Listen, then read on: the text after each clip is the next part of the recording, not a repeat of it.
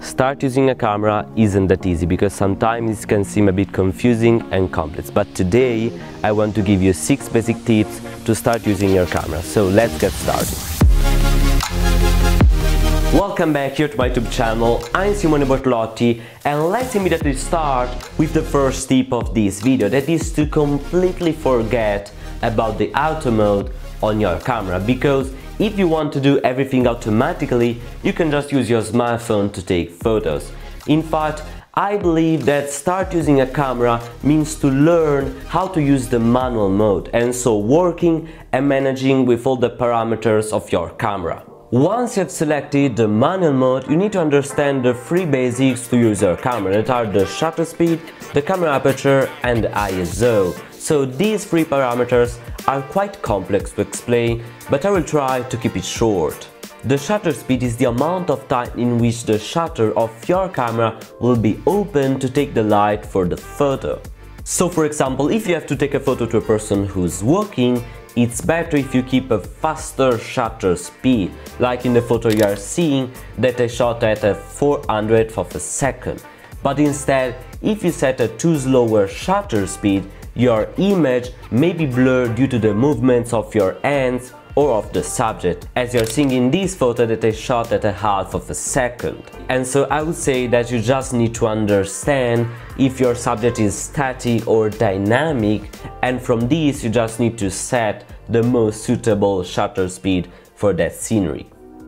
The following thing is the camera aperture, that is the opening of the lens diaphragm through which the light passes. Here are two different photos of the same subject with different camera apertures. So, the one on the left is at f4.0 but instead the one on the right is at f16. As you can notice, the lower you set the camera aperture, the more blur you will get around your subject, along with a higher quantity of light coming into the camera sensor. But instead, with a higher camera aperture, there will be a lighter bokeh effect in the background and your image will look darker just because there's less space on the lens diaphragm through which the light can pass. And finally, the ISO is the camera's sensitivity to light. So, lower ISO like 100 means that the camera sensor will receive less light but your image will be extremely cleaner.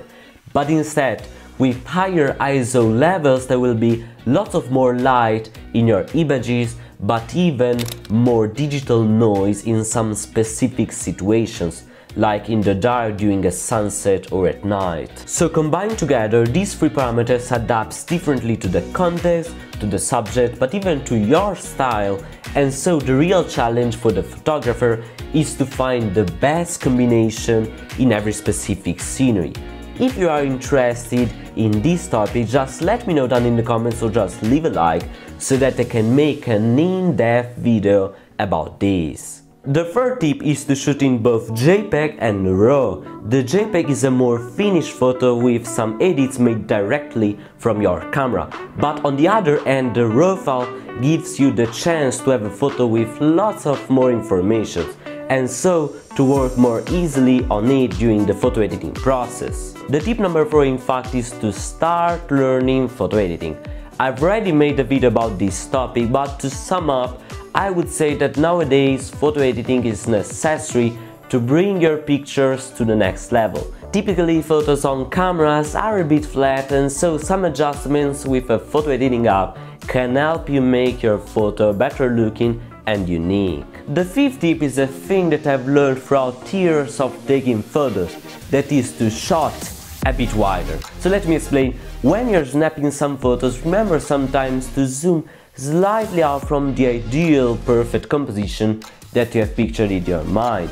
Afterwards, during the photo editing process, you will have the chance to resize the image as you prefer. So for example, to 16 to 9 for the Instagram stories or to 4 to 5 for the Instagram post. Last but not least, the composition is extremely important in photography. In my opinion, even more than all the technical tips that we've mentioned before. And among all the composition tips, I would say that the rule of thirds is the real game changer in photography.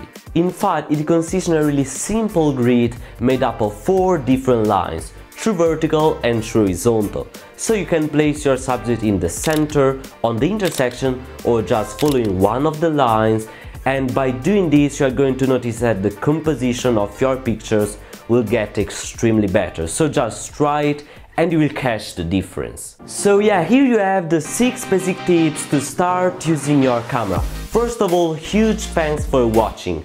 Leave a like if you enjoyed this video and subscribe my channel to not miss the upcoming content. So guys, I will see you in the next video. Bye!